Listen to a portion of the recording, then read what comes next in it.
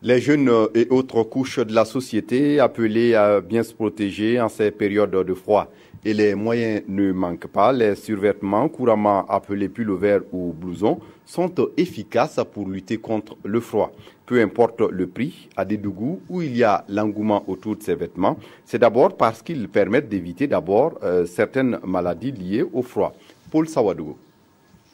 En ces périodes de fraîcheur, presque tout le monde opte pour le port des survêtements appelés pullover ou blousons.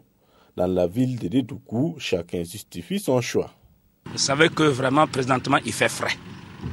Donc, euh, pour éviter beaucoup de problèmes en ordonnance, vaut mieux se protéger.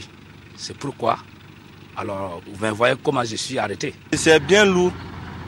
Ouais. Puis quand tu portes ça, tu prends un peu chaud quoi. Voilà.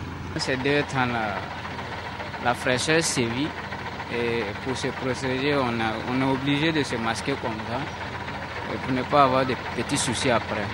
Ces survêtements, friperies ou neufs, sont vendus à des prix diversifiés dans la ville. moi, mes blousons là, ça a deux bahts.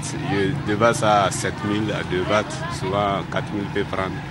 Comme cela, on vend ça à 3250 et puis 3000. On peut donner ça à 2500. C'est pas même qualité quoi. Il y a le moins cher, il y a ce qui est un peu cher là.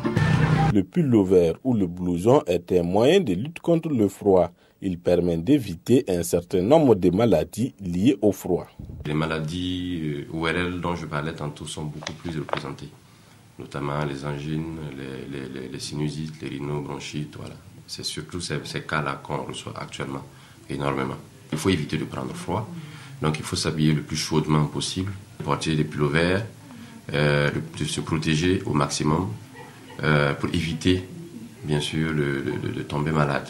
Force est de reconnaître que ces survêtements ne couvrent pas tout le corps, mais restent l'un des moyens efficaces de lutte contre le froid.